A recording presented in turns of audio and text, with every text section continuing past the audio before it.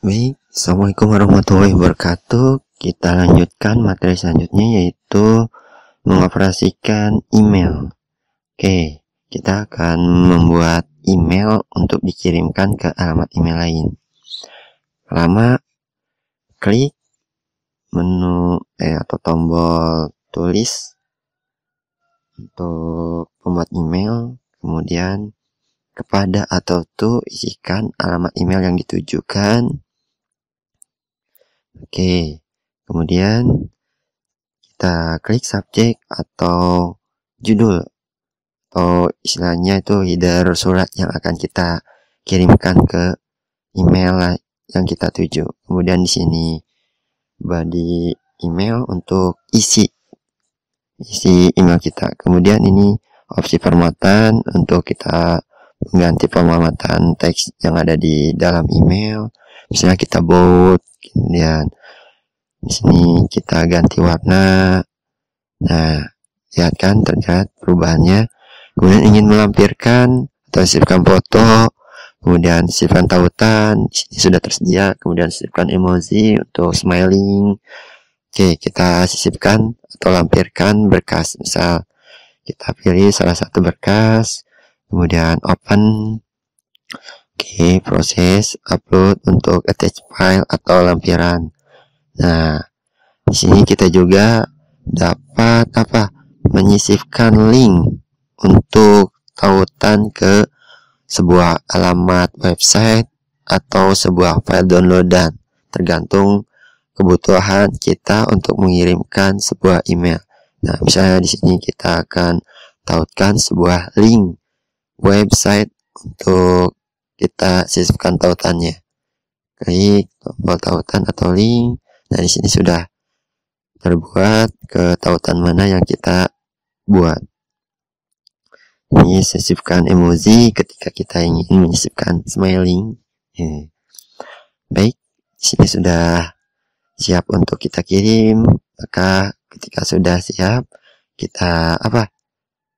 Oke, di sini untuk siap-siapkan foto jika ingin, kalau tidak langsung tekan kirim. Klik. Oke, proses pesan Anda telah dikirim.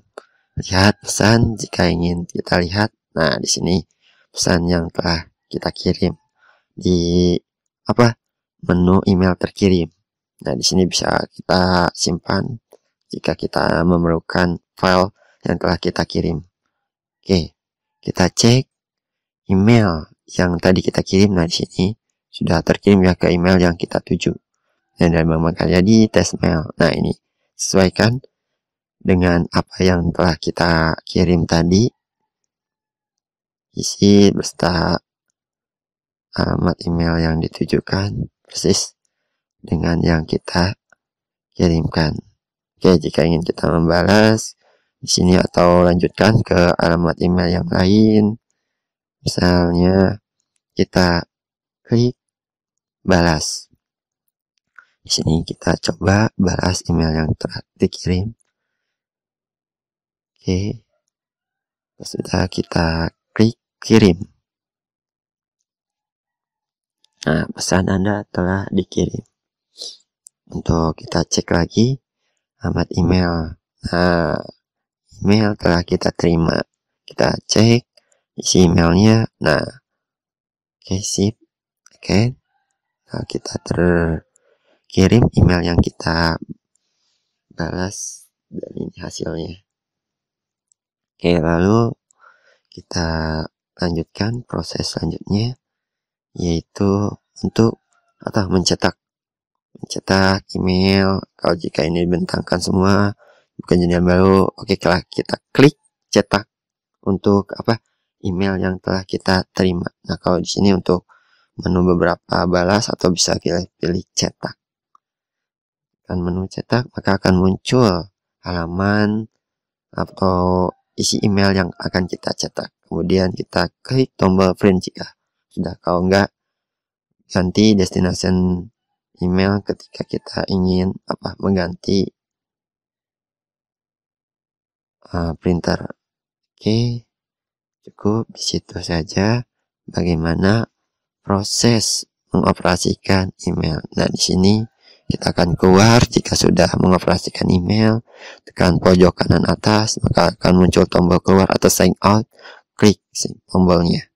Nah kita sudah keluar. Demikian bagaimana membuat atau mengoperasikan email. Assalamualaikum warahmatullahi wabarakatuh